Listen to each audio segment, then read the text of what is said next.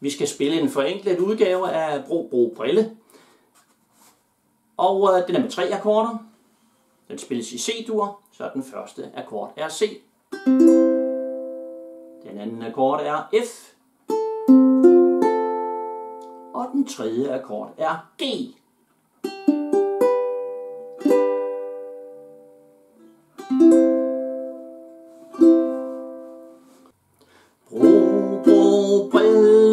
klokken ringer 11. Kejseren står på sit høje hvide slot. Så hvidt som et kridt, så sort som et kul.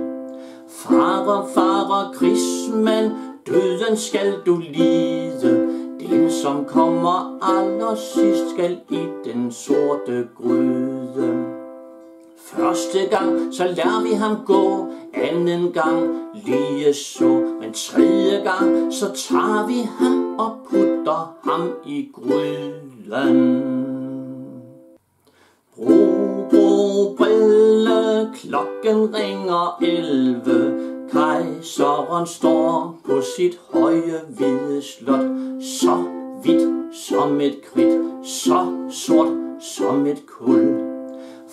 Farer, farer, krigsmand, døden skal du lide. Den, som kommer allersidst, skal i den sorte gryde.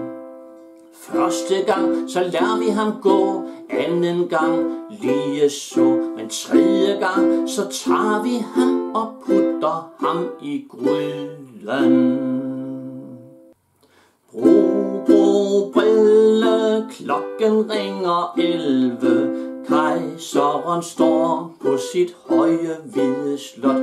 Så hvidt som et kridt, så sort som et kul. Farer, farer, krigsmand, døden skal du lide. Den, som kommer allersidst, skal i den sorte gryde. Første gang, så lader vi ham gå, anden gang lige så, men tredje gang, så tager vi ham og putter ham i gryden.